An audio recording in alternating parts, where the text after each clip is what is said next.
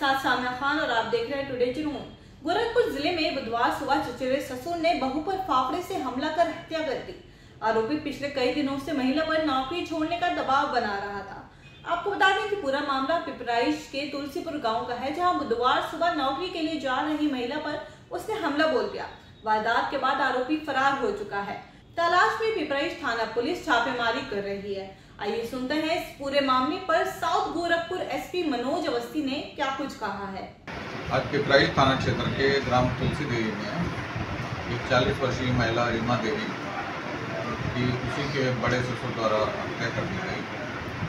हत्या का कारण आपसी विवाद बताया जा रहा है और तात्कालिक रूप से विवाद होने के कारण ये हत्या हुई है इसमें शव को कब्जे में लेकर पंचायत नामा पोस्टमार्टम के लिए भेज दिया गया है।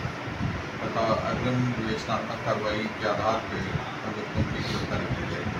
ये थी गोरखपुर से हमारे संवाददाता कृष्णा चतुर्वेदी की रिपोर्ट। ऐसे ही तमाम जानकारियों के लिए देखते रहिए टुडे जुनून